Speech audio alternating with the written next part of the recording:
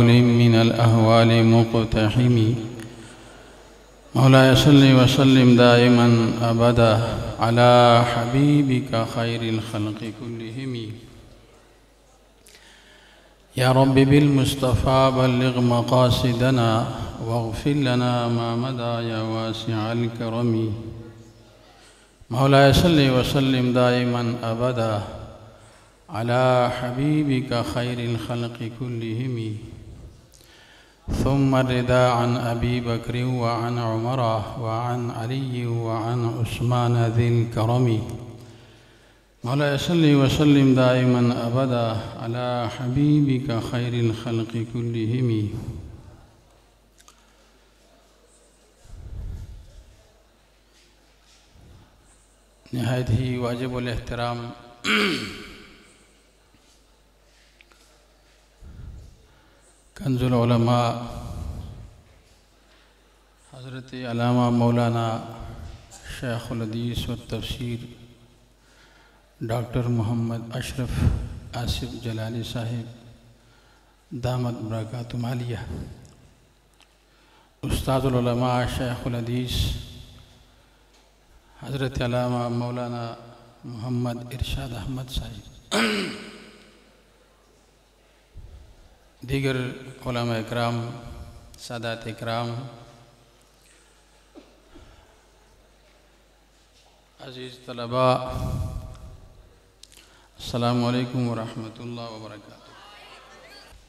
सबसे पहले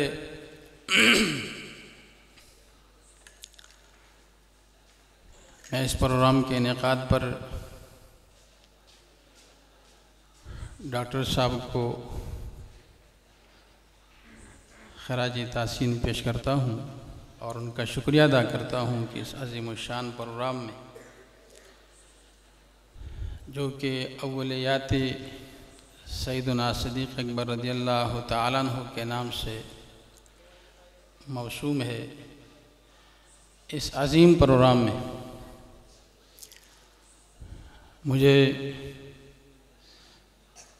नाचीज़ को शिरकत करने की शहादत रजानी फरमाई।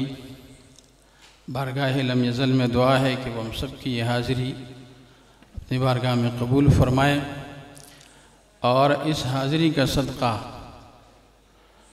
हम सब की बख्शिश मफ़रत फरमाएँ। सामिन मोहतरम,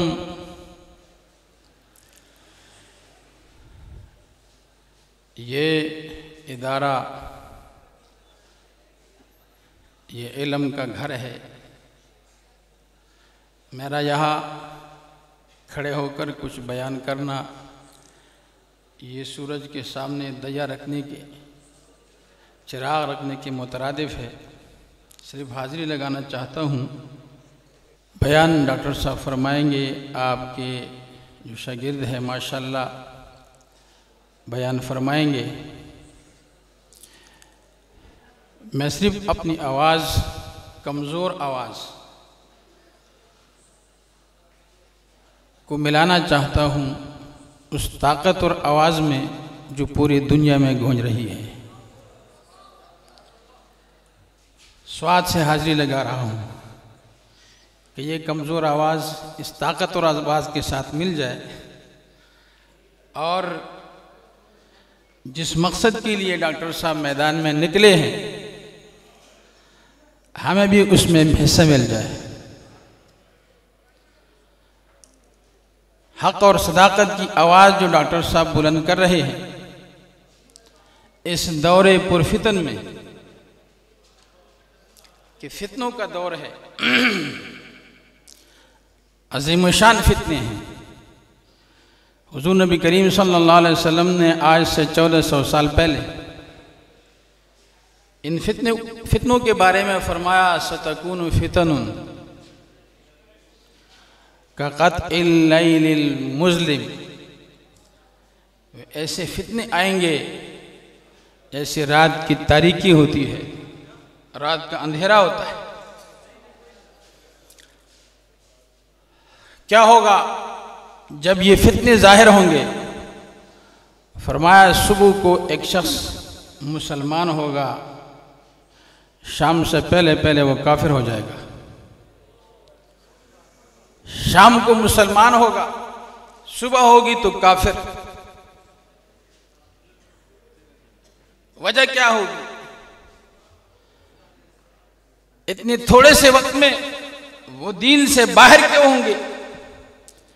ईमान से हाथ कैसे धो बैठेंगे? हजूर ने फरमाया यबी दीन कार दिन मिनत दुनिया। वो अपने ईमान दीन का सौदा करेंगे दुनिया की दौलत और माल से। आज वो सौदे हो रहे हैं।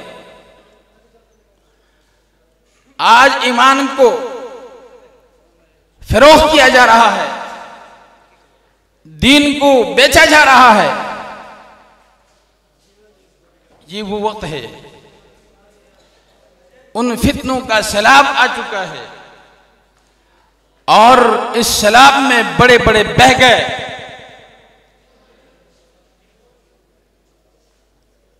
बड़े बड़े उलमा बड़े बड़े शयूख इस सैलाब के नज़र हो गए।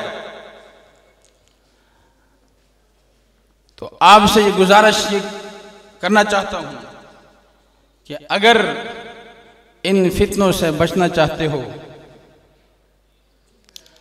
इलम के ज़रिए अगर बचा जा सकता होता तो ये बड़े बड़े बच जाते। जी।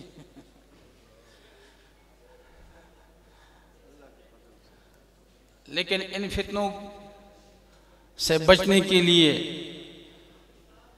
ज़रूरी है कि किसी अल्लाह वाले के हाथ में हाथ दिया जाए। जो हकीकतन बुज़ुर्गों से फैजियाब है। और इस दौर में अगर देखा जाए तो ऐसा पहाड़ हमें डॉक्टर मोहम्मद अशरफ आसिम जलाली की शक्ल में नज़र आता है।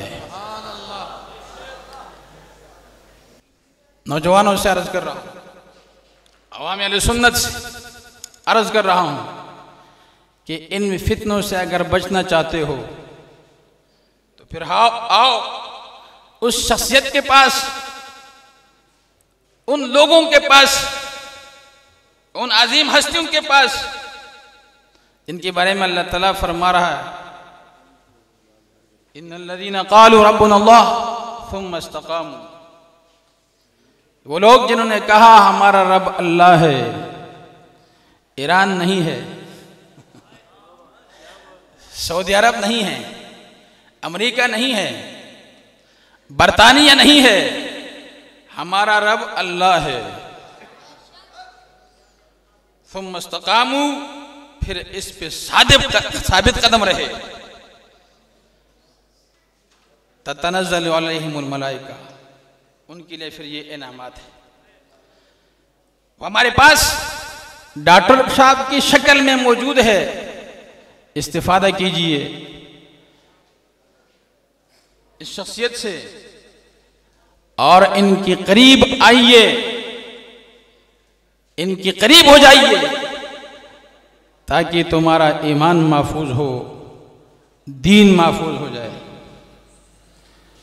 अपना ईमान और दीन की हिफाजत के लिए डॉक्टर साहब के कुर्ब में आ जाए। अगर अपना ईमान बचाना चाहते हो। वरना बहुत बड़ा सैलाब है और बचना मुश्किल है। बहुत बड़ा सैलाब दलालत का, गुमराही का और बेदीनी का अजीमुशान सैलाब इससे बचने के लिए हमें मरकज़ सरात मुस्तकीम का सहारा लेना होगा। अल्लाह रबुल्ज़त हमें अमल की तोफ़ी अता फ़रमाए। वमा अलैया